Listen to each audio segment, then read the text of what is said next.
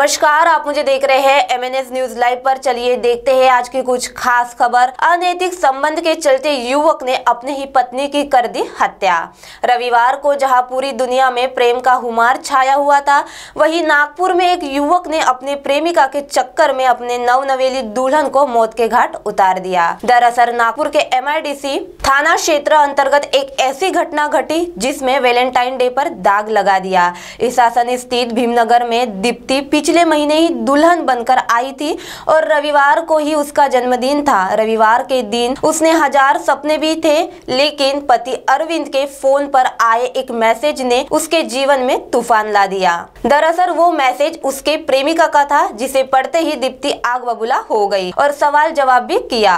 और पति ने अपनी करतूत छिपाने के लिए दीप्ति को हमेशा के लिए गहरी नींद में सुला दिया। खबर मिलते ही पुलिस घटना स्थल पर पहुँची और जाँच शुरू कर दी। तो वही दूसरी ओर युवक ने अपने ससुर और साले की की हत्या। अमरावती ज़िले के चांदूर बाज़ार तहसील के पूर्णा गाँव में एक शख्स ने अपने ससुर और साले की हत्या कर दी। आरोपी रवि पर्वतकर और उसकी पत्नी का तलाक हो चुका था। इसके बाद से उसकी पत्नी अपने मायके में ही रहती थी। लेकिन रवि इन सब के लिए ससुराल वालों को जिम्मेदार मानता था। घटना वाले दिन वो अपने ससुराल गया था, जहाँ पर अपनी पत्नी को उसने अपने घर वापस ले जाने के लिए दबाव डाल रहा था, जिसके बाद विवाद बढ़ गया और उसने अपने ससुर और साले की हत्या कर दी और वहाँ से भाग गया। फ़िलहाल पुलिस इस मामले की जाँच कर रही है। अब आप हमारे चैनल को ऐप पर भी देख सकते हैं, प्ले स्टोर में जाकर एमएनएस हिंदी लिखे और ऐप डाउनलोड करें।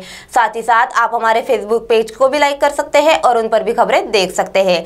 लिंक ट्विटर हाइक इंस्टाग्राम पर भी आप हमारी खबरें देख सकते हैं। आप हमारे चैनल को यूट्यूब पर भी देख सकते हैं और इस यूट्यूब पर सब्सक्राइब करना ना भूले। अब फ़िलहाल वक्त आ चला है एक ब्रेक का।